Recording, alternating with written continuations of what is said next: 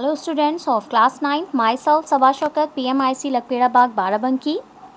In the previous video we have learned about solid, its characteristics and some uh, question answer for worksheet and exercise.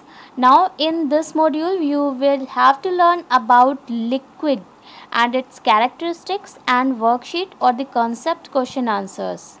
Okay.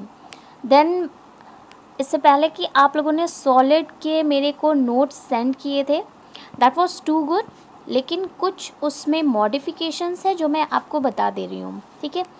कुछ बच्चों ने जो मुझे note send किए थे they were in the form of headings but you don't have to write the answer in form of headings you have to write the answer और the heading in form of points just like आपने solid के बारे में जो भी मुझे points लिख कर के दिए, वो आपने हेडिंग डाली थी there is no D of no need of headings okay you can put points in place of headings just like मैंने, जैसे आपको तीन एग्जाम्पल्स दिए हुए हैं। फ़र्स्ट अब आप जो काम करेंगे, वो मैं आपको बता रही हूँ, आपको इसी तरह से करना है ओके मिड हेडिंग आप डालेंगे centre heading liquid then side heading characteristics in the characteristics first point जैसे कि आप देखेंगे, जो भी आपने सॉलिड के पॉइंट लिए लिए थे जस्ट उसी के सीरियल में सारे पॉइंट्स हैं। और मैंने आपको देखिए, यहाँ तक कि मैंने आपको बताया, आपको इसी तरह से काम करना है। First point in liquid no fixed shape is found solid में आपने लिखा था in solid fixed shape is found इसमें आप लिखेंगे in liquid no fixed shape is found next उसमें आपने लिखा था फिक्स्ड वॉल्यूम इज़ फाउंड इसमें भी आप लिखेंगे volume of liquid is fixed next आपने हेडिंग डाल करके किया इंटरमोलिकुलर स्पेस जबकि आपको हेडिंग नहीं डालनी है। आप देखिए आपको किस तरह से लिखना है।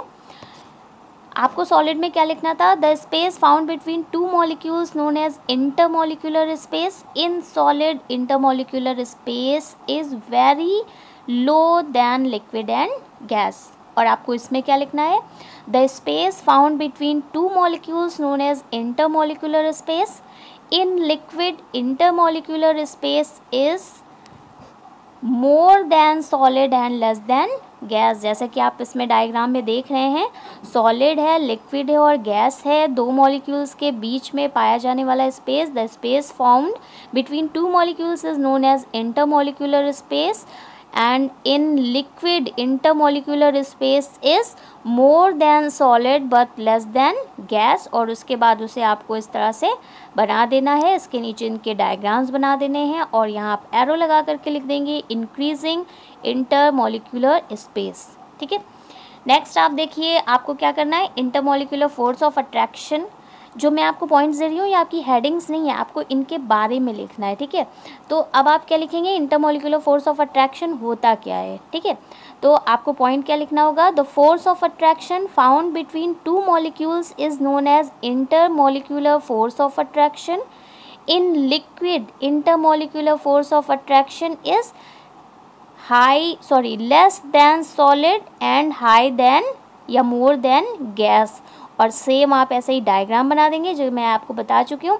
सॉलिड में पास पास मॉलिक्यूल्स हैं, इन, इनके बीच में जो फोर्स ऑफ़ अट्रैक्शन होगा वो ज़्यादा होगा लिक्विड में उससे कम होगा और गैस में उससे भी कम होगा। तो नीचे जब आप बनाएँगे सेम बनाएँगे और ये जो आपका साइन है वो चेंज हो जाएगा ऐसे और इधर वाला मोर देन में आ जाएगा, ठीक है? नेक्स्ट कंप्रेसिबिलिटी कंप्रेसिबिलिटी इसमें भी होगी कि सॉलिड में भी कंप्रेसिबिलिटी नील थी और इसमें भी कंप्रेसिबिलिटी क्या होगी? नील होगी। काइनेटिक एनर्जी काइनेटिक एनर्जी क्या होता है? मूवमेंट पार्टिकल्स का होता है। तो काइनेटिक एनर्जी इसमें मोर देन सॉलिड होगी और लेस देन गैस होगी। इसके बाद आप वर्कशीट देख सकते हैं। वर्कशीट में लिखा है liquid are known as fluid why liquid को फ्लूड क्यों कहा जाता है? क्योंकि लिक्विड्स में जो इंटरमोलिकुलर फोर्स ऑफ़ अट्रैक्शन बहुत ही कम होता है, जिसकी वजह से उनमें फ्लोइंग मतलब कि फ्लूडिटी पाई जाती है, बहने की क्षमता पाई जाती है कैपेसिटी ऑफ़ फ्लोइंग पाई जाती है, जिसकी वजह से उसे क्या कहते हैं? फ्लूड कहते हैं। नेक्स्ट है water in a jar measures hundred M एक वॉट जार में वाटर रखा है, जिसका वॉल्यूम कितना है? हंड्रेड एम है।